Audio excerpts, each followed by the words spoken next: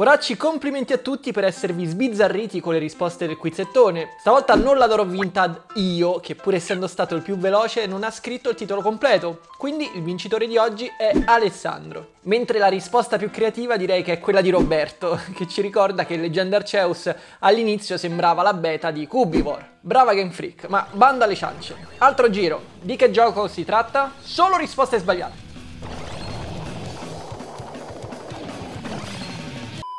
Poracci, bentornati o benvenuti su TG Poro, l'unico format di YouTube Italia dove si parla di videogiochi e il primo in assoluto ad aver raggiunto l'episodio numero 100.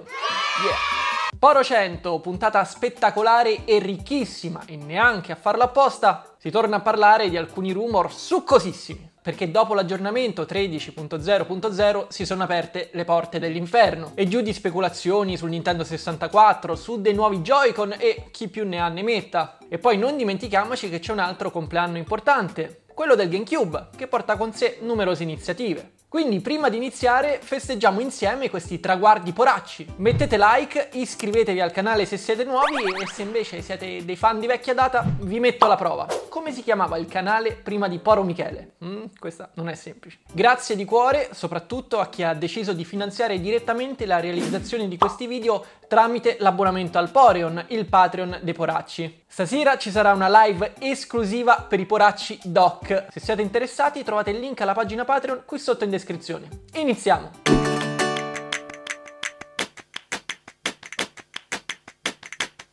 Partiamo con qualche notizia al volo. Nel mentre che aspettiamo Shin Megami Tensei 5, Atlus è pronta a sganciare una nuova bomba, con il supporto ovviamente di Sega. Non si sa ancora nulla sull'entità del progetto, ma a quanto pare il primo ottobre, durante la live stream che si terrà all'interno del Tokyo Game Show 2021, Atlus svelerà un nuovo JRPG. A quanto pare però non si tratterà di un nuovo capitolo della serie Persona né qualcosa relativo all'universo di Shin Megami Tensei. I rumor puntano tutti verso un nuovo episodio di Sakura Wars, serie popolarissima in Giappone che celebra il suo 25 anniversario. L'appuntamento è fissato per il 1 ottobre alle ore 14 italiane. Wild at Heart riceve finalmente una data di uscita ufficiale per Nintendo Switch. Questo particolarissimo action adventure è sostanzialmente il Pikmin 4 che Nintendo non tirerà mai fuori e fa molto piacere vederlo approdare su console ibrida. Dal 16 novembre 2021 sarà disponibile sia in versione digitale che in copia fisica ed è uno di quei titoli che fossi in voi terrei d'occhio. Proprio in questi giorni lo avevo avviato su Game Pass e Wild at Heart mi ha catturato sin da subito, ma quasi quasi lo metto in pausa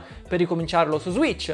Ma chiudiamo questa prima sezione con una nota un po' amara. Ci sono altri due importanti rinvii per quanto riguarda le produzioni AAA. Dopo una serie di rumor è arrivata la conferma ufficiale da parte di EA. Il nuovo Battlefield sarà rimandato di un paio di settimane, dal 22 ottobre al 19 novembre, a causa di complicazioni non previste, dettate dal lavorare in remoto. Un ritardo non così grave a differenza dell'attesissimo Dying Light 2 che subisce l'ennesimo clamoroso ritardo, slittando di ben due mesi, dal 7 dicembre dicembre al 4 febbraio 2022. Rinvii che fanno male, ma se c'è una cosa che ci ha insegnato Cyberpunk 2077 è che è meglio arrivare sugli scaffali con un prodotto finito che con una produzione afflitta da varie problematiche. Più che altro il 2022 in particolare febbraio, come ci ricorda Annapurna, inizia a prospettarsi come un anno clamoroso per il gaming, non trovate? E passiamo alle notizie del giorno. Qui, mentre ancora si aspetta e si spera in un direct di settembre, ti prego Nintendo non fare scherzi, ok?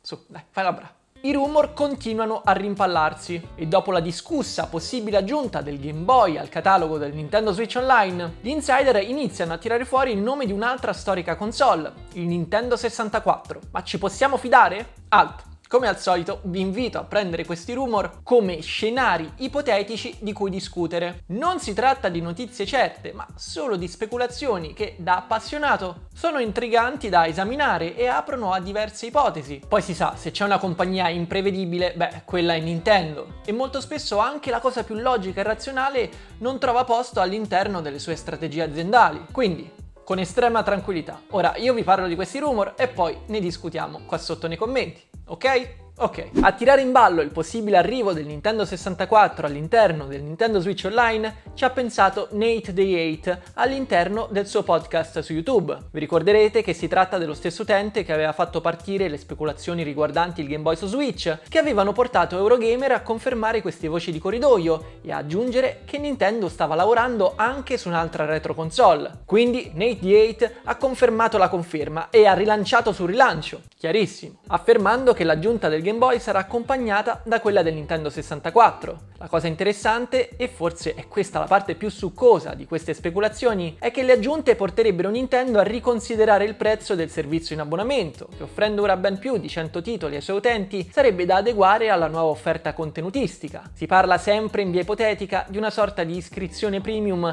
che rincari il prezzo annuale in un range compreso tra i 25 e i 35 euro. Voi li spendereste per avere accesso alla libreria Nintendo 64?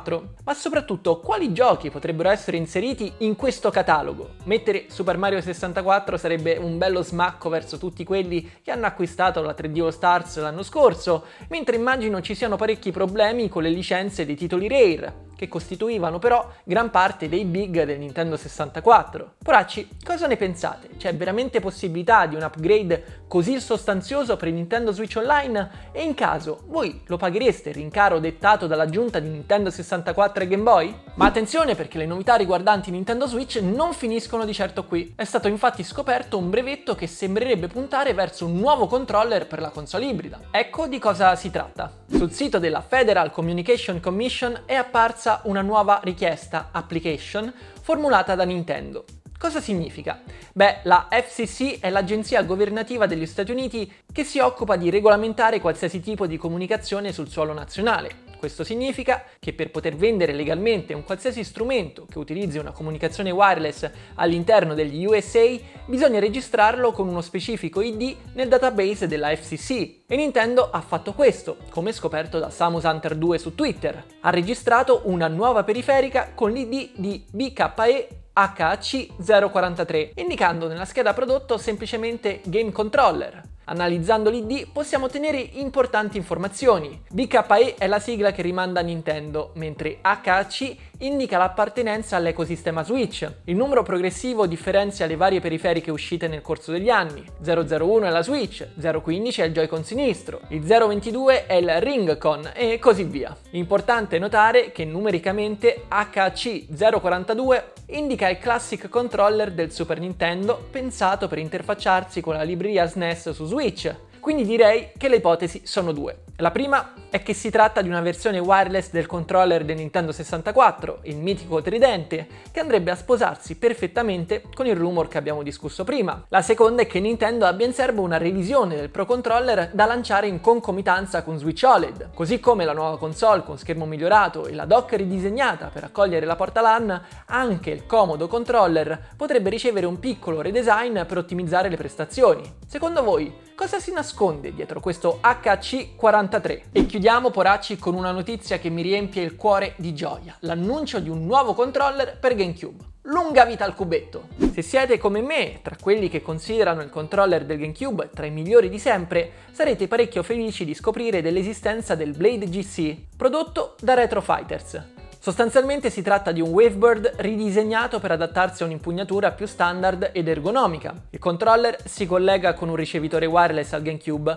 ma sfrutta un protocollo wireless standard e può essere connesso anche Switch e PC. L'autonomia prevista è di 10 ore e sarà ricaricabile attraverso una porta USB-C. Come si nota dalle immagini, il controller raggiunge tanto, senza però tradire l'impostazione originale dei tasti. Tra le feature più apprezzate c'è un D-pad nettamente più grande, un doppio tasto Z, i tasti tasti dorsali che supportano i livelli di pressione e due stick analogici ora simmetrici, il prezzo è di 40 dollari e i pre-order saranno aperti ancora per 18 giorni. Io quasi quasi un pensierino ce lo faccio. E voi? E questo poracci era tutto per oggi. Non vi ringrazierò mai abbastanza per l'incredibile supporto che mi date ogni giorno. Senza di voi non sarei mai arrivato a 100 TG Poro, un traguardo che solo fino a un anno fa era praticamente impensabile. Grazie di cuore e come al solito ci vediamo nei commenti. Vi ricordo che stasera ci sarà la live dedicata agli abbonati Porion. Nel caso voleste partecipare, sapete dove trovarmi. Voi fate i bravi e nerdate duro. Noi ci vediamo domani per un nuovo video e io sono il Poro64, Michele Hack. Ciao! Ehi ehi ehi, fermo! Se questo tipo di video ti piace, prendi in considerazione l'idea di supportarmi sul Poreon, il Patreon dei Poracci. Con un piccolo contributo mensile mi puoi aiutare enormemente a portare avanti i contenuti qua sul canale e in cambio ricevi anche delle ricompense di tutto rispetto come retroscena, anteprime e anche live esclusive dove andremo a caccia di retro game. Ti lascio il link in descrizione e ricordati che Poracci si diventa.